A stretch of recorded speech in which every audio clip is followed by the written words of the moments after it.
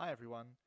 In this video I want to show how easy it is using the Xero Content Pack for Power BI to connect your organization to Power BI to start using the dashboard to get richer insights into the health of your business. To start with you can see that I'm signed into my Xero demo company here and I'm also signed in to Power BI. This is a dashboard I have for a different project and you'll see in a second how easy it is to connect to Xero. I start off by clicking the Get Data button down in the bottom left hand corner of the screen. From here I can browse all the content packs that are available for Power BI. I'll start searching for Xero using the search bar. As you can see, there's only one option for Xero, and if I click Get, it'll take me through the wizard to connect to my organisation. I'll give the organisation a name, so I'll call it My Demo Company. Click Next.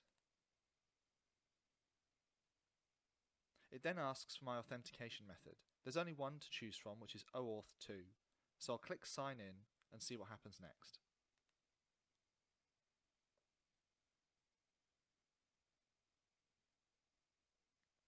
Since I'm already signed into Xero, it's detected that and it's now asking me which organisation I'd like to associate with this dashboard.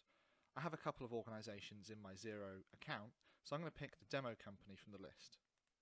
I click Authorise and away it goes.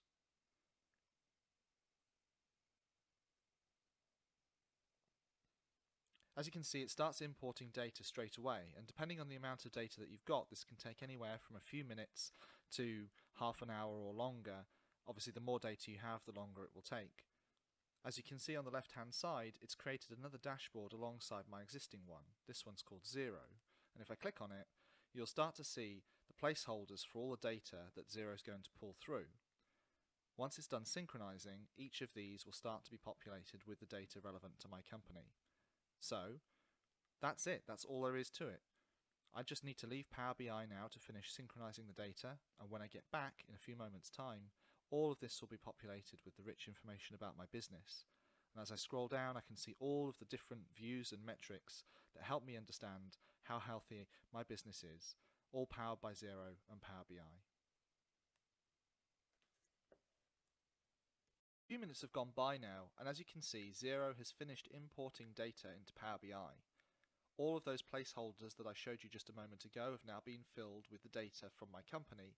And if I click on this burger menu on the left hand side of Power BI, I can hide the grey column and give more space to the information that matters about my business.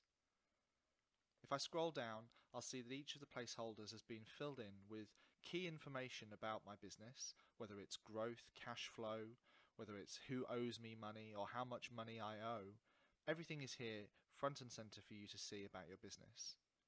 As you go all the way down to the bottom, there are some key ratios which are key indicators for the health of your business.